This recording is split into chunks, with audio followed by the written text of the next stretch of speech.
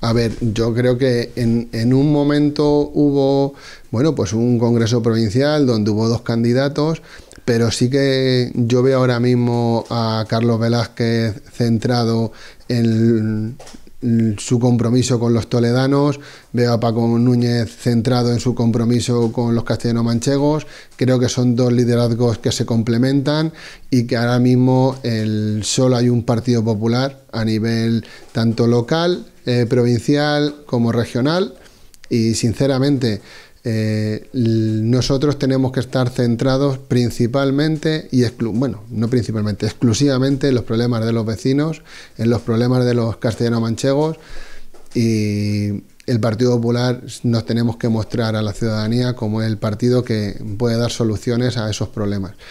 Mm, de verdad que, y te lo digo con total honestidad, ahora mismo yo veo un único Partido Popular trabajando en una única dirección, eh, ser alternativa en Castilla-La Mancha y afianzar los gobiernos que, tenemos actualmente y poder eh, ser esa alternativa en aquellos donde no estamos gobernando.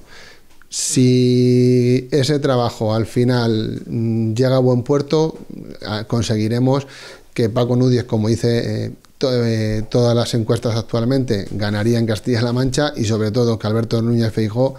eh, más pronto que tarde sea el presidente de, España, porque si no, el futuro en España se ve bastante oscuro.